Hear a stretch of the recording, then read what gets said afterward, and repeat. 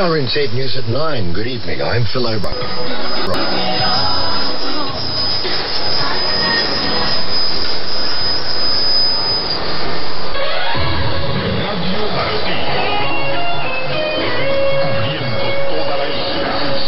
noticias más importantes de Cuba y el mundo.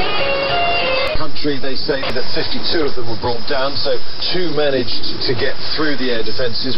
This is now, we think, the 14th strike against the capital since the month began, and so that's pretty much one every other day. So we are seeing an increase in Russian attacks, just as we're seeing, I think, an uptick in Ukrainian attacks in parts of Ukraine that are controlled and held by Russia at the moment, ahead of what people are long expecting, Ukraine's future counteroffensive. The director of the National Emergency Management Agency says tonight's nationwide test of the emergency mobile alert system was a success. The alert went out around quarter past six.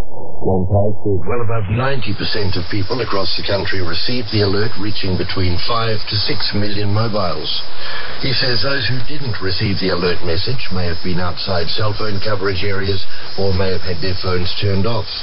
The government is working with telecommunications companies to improve coverage in certain areas.